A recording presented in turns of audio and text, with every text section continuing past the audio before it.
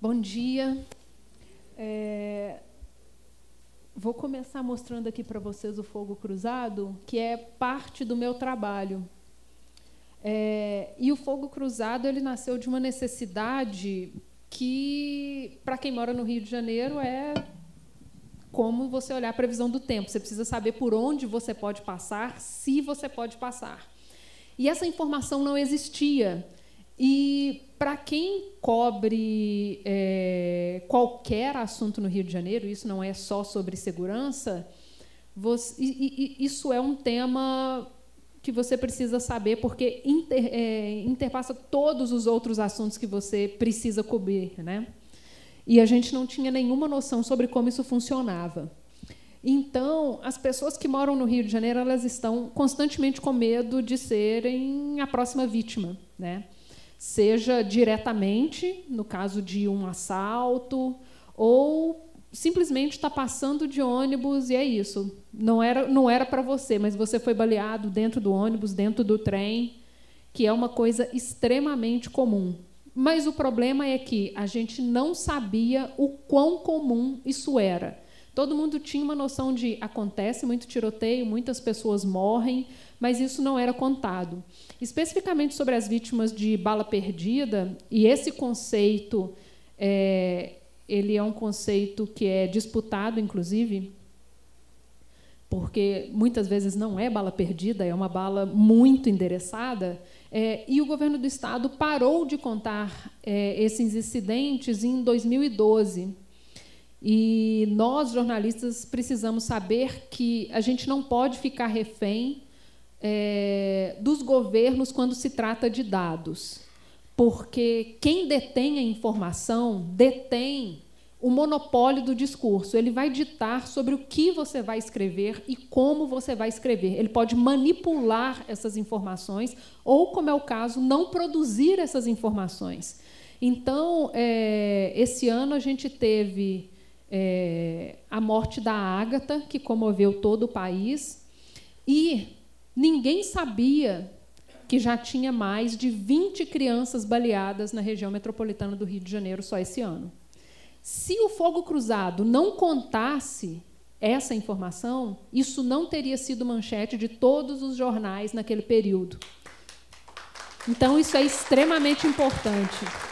Nós precisamos desafiar os governos e produzir essas informações, porque quando eles, ainda mais agora, quando é, quem trabalha com dados sabe o quanto os bancos de dados estão e estiveram, porque alguns realmente saíram do ar, em perigo é, nessa nova era.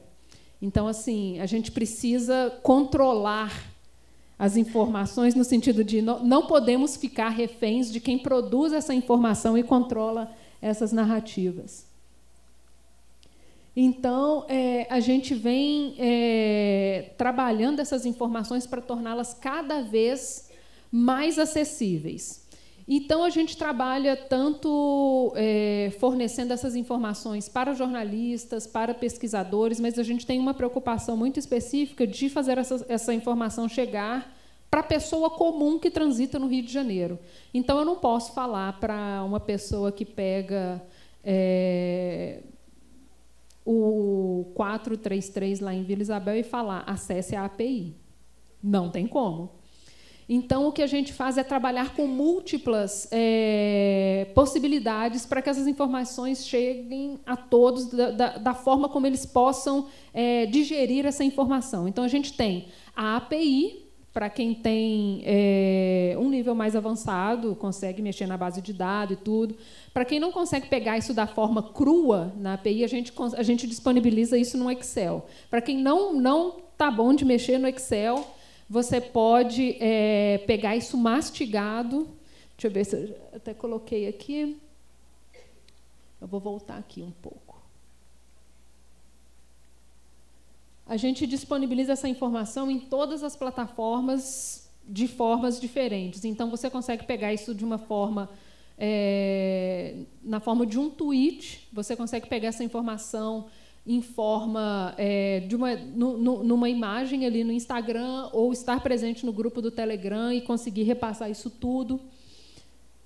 é, a gente conseguiu trabalhar a API em parceria com o Volt da Talab, que inclusive é, fizeram um pacote específico aqui, só com os dados do fogo cruzado, que fa facilitou ainda mais para quem, quem quer cobrir esse tipo de informação. Mas vou até voltar aqui um pouquinho, porque muitas pessoas têm dúvida do tipo: mas como é que vocês contam isso? Como é que eu posso acreditar que vocês estão fazendo um trabalho sério? Ou como é que isso funciona?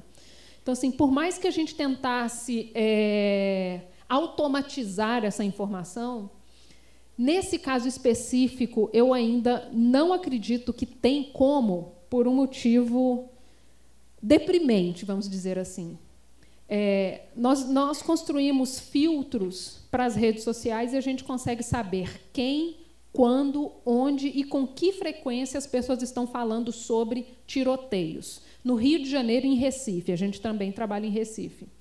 É, mas o problema é que as pessoas falam sobre tiro não só quando está acontecendo tiroteio.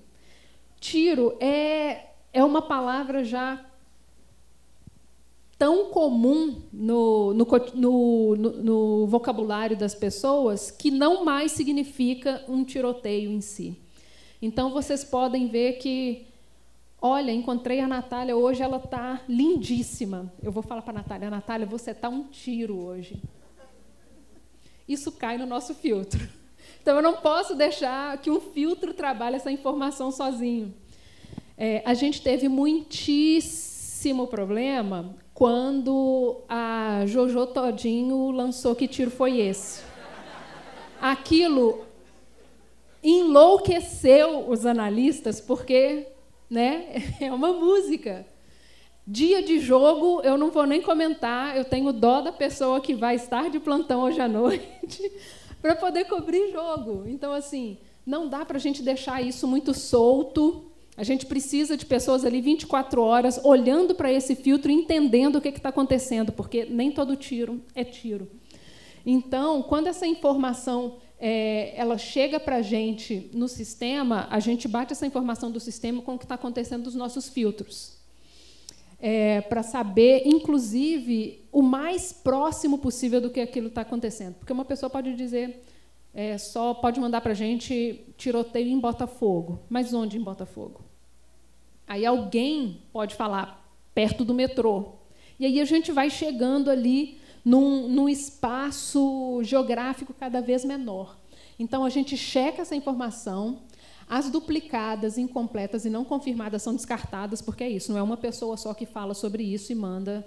Se acontecer um tiroteio no centro da cidade, a gente vai receber 10 coisas, 10 notificações dizendo: olha, tem um tiroteio aqui na Rio Branco.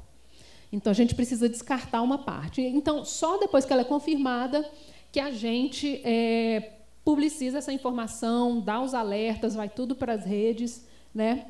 Então, além disso, a gente publica as informações é, que, a gente, que, a nossa equipe mesmo coleta. Então, a gente está sempre de olho ali em todas as redes da, das polícias e dos jornais para poder ver é, desdobramentos, se, é, se houve uma vítima. Por exemplo, isso, isso é, muito, é, é um trabalho que a gente faz contínuo, porque, às vezes, Teve um assalto, uma pessoa foi baleada, mas ela ficou internada e vai lá.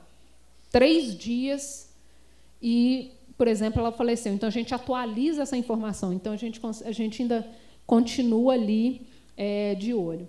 Então, quando a gente fala sobre essa questão de tiroteio, a gente tem uma noção de que estamos, sim, imersos em uma situação deprimente, mas a gente não consegue entender o quanto. Mas quando a gente vê esse número somado, é que a gente tem noção do quão cotidiano é e, e de que é isso? Você está imerso numa, numa, numa situação de violência extremamente grave. E isso aqui é, entre aspas, curioso, porque esse ano a gente tem menos tiroteios do que a gente teve em 2018. Mas, proporcionalmente, a gente tem muito mais vítimas. Né? Então, é, vamos dizer que é, a política de enfrentamento do Rio, e a gente tem tido muito mais operações policiais, entre aspas, está sendo muito mais efetiva. Né?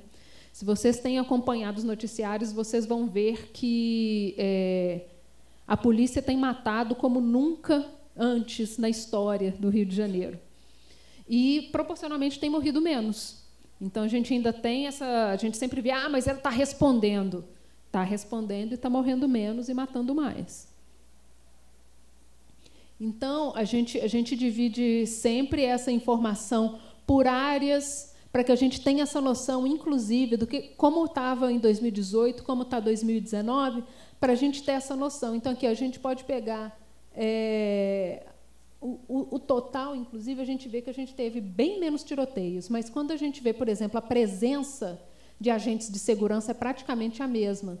E aí você vê o quanto que isso vai aumentando proporcionalmente é, no, no número de mortos e feridos, que era uma coisa que não era contabilizada. Uma outra coisa que a gente tem feito é como a gente usa a base do Google Maps para poder fazer isso a gente tem a geolocalização. E, como, e, e com a geolocalização na mão, você pode cruzar com qualquer outra base que trabalhe com endereço.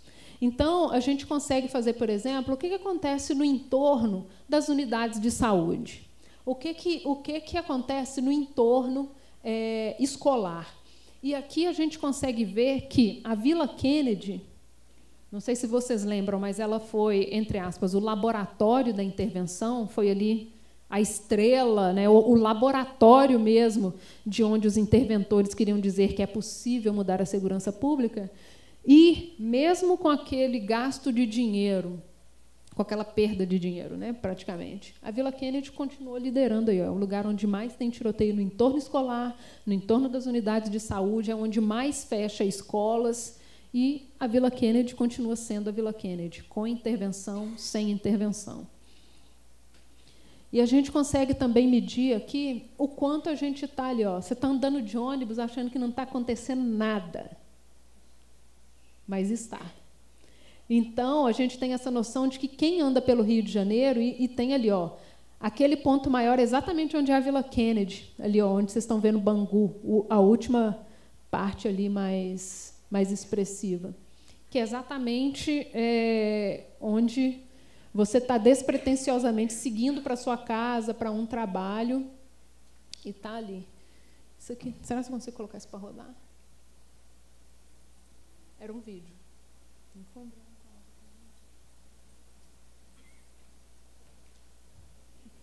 Era. Não sei se vai rodar. Pode.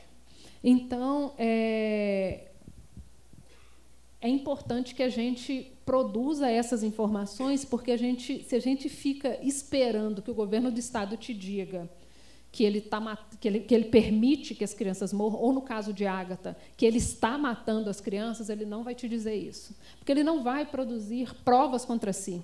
Ele não vai admitir que, que ele é um Estado que mata crianças, mas que só mata crianças em determinadas áreas. Ele não vai matar uma criança no Leblon, ele vai matar uma criança no Complexo do Alemão, como tem sido ao longo de todos os anos. E quando a gente fala especificamente dessa coisa do jornalismo local, isso é extremamente importante, porque é, no Rio de Janeiro, essa é a realidade, obviamente, de toda a região metropolitana, mas tem áreas onde isso é ainda mais importante. Eu trabalhei muitos anos é, no complexo da Maré e eu trabalhei Foi mais uma Pode colocar. Pode ir. Foi mais uma manhã de operação policial e de trocas de tiros na Rocinha. Os corpos de dois homens foram encontrados na parte alta da favela. A polícia investiga se eles tinham ligação com o crime organizado. Para não ficar ainda mais expostas à violência, crianças tiveram os olhos vendados para passar pelo local. Então, assim, eu acho que a gente precisa é, explorar, principalmente essa questão é, da violência, e isso não é cobrir, entre aspas, editoria de polícia, isso é cobrir editoria de política. Então, a gente não pode reduzir a segurança pública só a uma editoria de contar corpos, porque a gente, nós jornalistas, precisamos ter um compromisso democrático com o futuro dessas crianças que estão pulando corpos. É, é com elas que a gente deve preocupar.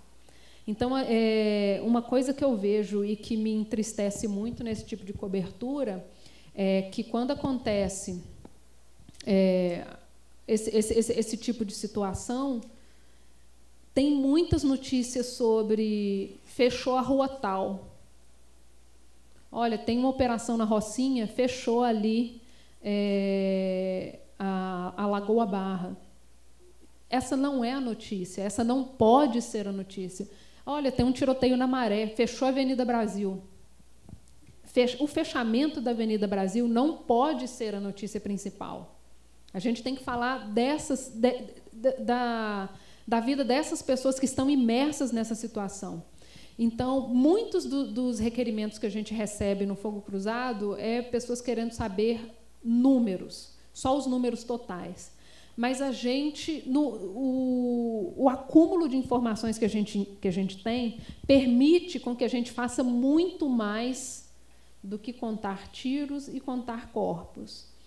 Mas aí a gente esbarra num outro problema que é o sucateamento do jornalismo. As, as redações elas estão extremamente enxutas e estão reduzindo a cada dia mais. Então é muito difícil. Eu quero cobrar do meu colega jornalista, você precisa fazer mais do que isso. Mas é muito difícil de eu cobrar dessa pessoa que precisa trabalhar por três, por quatro colegas que foram demitidos. Então a gente fica numa sinuca de bico ali. É, eu tenho o privilégio de, de trabalhar no Intercept que me permite gastar meses fazendo uma pauta. Então, por exemplo, eu observei o que estava acontecendo em 2018. No fogo cruzado, eu percebi que estava tendo muito tiroteio em determinadas áreas. Então, eu entendia, olhando de perto os dados do fogo cruzado, que estava acontecendo uma coisa estranha em 2018. Mas eu pude gastar o ano inteiro analisando o que estava acontecendo ali, que foi quando eu consegui fechar é, no final de 2018, uma matéria sobre: olha, uma das maiores facções do Rio de Janeiro está acabando. Porque eu consegui analisar todos os tiroteios de 2018, eu consegui gastar o meu tempo listando todas as notícias que saíram na imprensa e que falavam sobre invasão, troca de facção, é, golpe, para que eu pudesse entender quem estava tomando a área de quem e acumulando mais, é, mais áreas de domínio. Mas eu tive o tempo de fazer isso.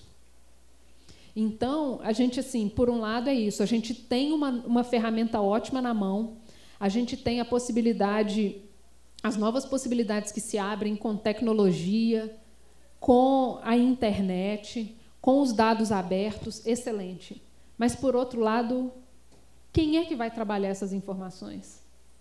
Porque as, as redações estão cada vez mais enxutas. Então, assim, o jornal tem, tem que ser muito ninja para conseguir é, fechar essa, essa, essas duas pontas, né? E, e, e, dar algum, algum resultado que seja realmente interessante. Por isso a importância da gente conseguir trabalhar em conjunto. Eu consegui trabalhar em conjunto com o Volt para poder produzir é, os primeiros mapas que a gente fez, o Fogo Cruzado não tinha dinheiro, não tem ainda. Inclusive, aceitamos doações. Então, assim, não, eu, eu não tenho uma pessoa, por exemplo, como o Sérgio, dentro da minha equipe que consiga produzir esses dados. Então, eu, a solução que eu encontrei foi: eu disponibilizo esses dados. Mas nem todas as redações têm esse profissional que consegue trabalhar esses dados também. Então, é importante que a gente consiga é, se comunicar fazer parcerias e trabalhar em conjunto, que é, é uma forma realmente de reduzir os danos desse enxugamento das redações, que é como a gente consegue fazer isso. É, e para fechar, eu queria só falar que quando eu estava trabalhando na Maré, o, o, jornalismo que a gente fazia era um jornalismo local, local, porque a gente estava dentro do Rio de Janeiro e especificamente dentro da Maré. E a gente tinha um jornal impresso com circulação de 30 mil exemplares circulando ali dentro, e a gente falava só sobre a maré. Só sobre a maré. E, e violência não era o tema principal do que a gente fazia ali. Dentro da maré, a gente conseguiu é, mapear todos os estabelecimentos comerciais. A gente conseguiu fazer um censo específico só sobre a maré, a própria instituição onde eu trabalhava. Então, assim, é possível fazer isso, mas não é possível fazer sozinho. Né? Então, assim, não, não é só se esforce que você vai conseguir, é, você tem que acordar com boa vontade para fazer. Não. Você só tem duas pernas e dois braços. É preciso mais do que isso para conseguir fazer uma cobertura completa, uma cobertura responsável, uma cobertura que não seja baseada apenas em releases do governo do Estado, uma, um, uma cobertura que não seja apenas pensando informações do Twitter oficial do governo do Estado, das polícias, porque isso não é jornalismo, isso é assessoria de imprensa. A gente precisa dar essa volta, dar a, as mãos para mais pessoas, buscar mais organizações. A gente tem trabalhado também com, com a Open Knowledge para poder tentar contribuir é, com outros, fazer outros é, produtos que usam a, essa base de dados. Então é isso, a gente precisa é, colaborativamente e vamos como, como é possível. Obrigada.